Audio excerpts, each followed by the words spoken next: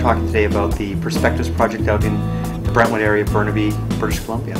We call ourselves partners in community building. So we, we, we work with the city, we help them take a plan and oftentimes uh, amplify that, improve on it, and, and then we bring together the best of the trades. We're actually creating vibrant whole communities.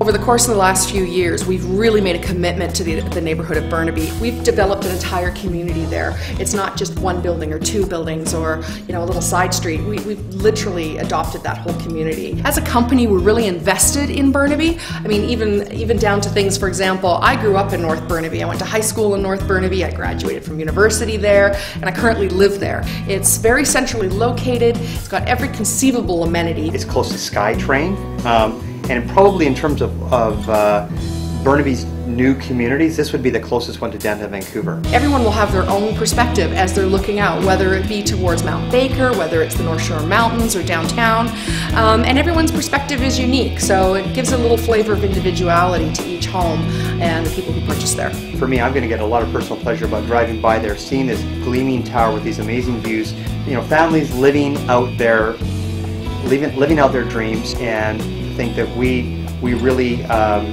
we crafted something that enables them to have a great lifestyle.